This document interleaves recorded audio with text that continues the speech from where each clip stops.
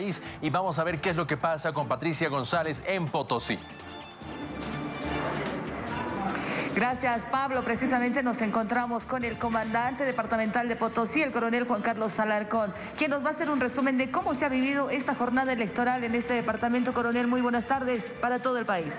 Muy buenas tardes. Evidentemente estamos en pleno proceso y en ejecución de las tareas policiales en el marco de cumplimiento de la misión constitucional y con la finalidad de poder garantizar el normal desenvolvimiento de, y desarrollo de este proceso eleccionario a través de las diferentes unidades, de los diferentes servicios. El Comando Departamental de Potosí ha tomado conocimiento de la detención de 15 motorizados por eh, incumplir el auto de buen gobierno circulando sin autorización. Asimismo, 33 eh, personas hasta el momento han sido arrestadas. Eh, porque las mismas y de igual manera han incumplido con el auto de buen gobierno quienes se encontraban en estado de ebriedad.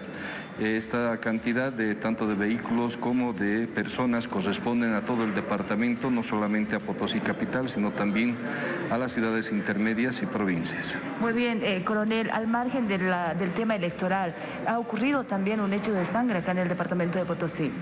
Dábamos a conocer que no solamente nuestro accionar, nuestro servicio policial, está orientado a garantizar el normal desenvolvimiento y desarrollo del proceso eleccionario, sino que también todas nuestras eh, unidades y organismos especializados de la Policía Boliviana están trabajando y en virtud de ello es de que en horas de la mañana se presenta un caso de muerte de persona donde eh, compromete las tareas de investigación de la Fuerza Especial de Lucha contra el Crimen en coordinación con el Ministerio Público y la asistencia del médico legal para que en horas de la mañana de hoy, reitero, alrededor de las once y media, puedan y hagan el levantamiento legal de un cuerpo sin vida de sexo masculino de 32 años de edad.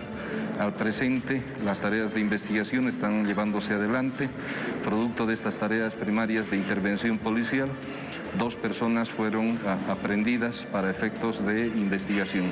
Será la tarea especializada, el peritaje del médico forense, eh, quien dé luces para continuar con las investigaciones. Estamos a la espera de la autopsia médico-legal. Le agradecemos, comandante, por esta información. Así ha transcurrido esta jornada electoral con un hecho de muerte y por supuesto algunos infractores a propósito del consumo de bebidas alcohólicas y vehículos que tampoco contaban con su permiso. Este es el informe. Retornamos hasta Estudio Central, compañeros.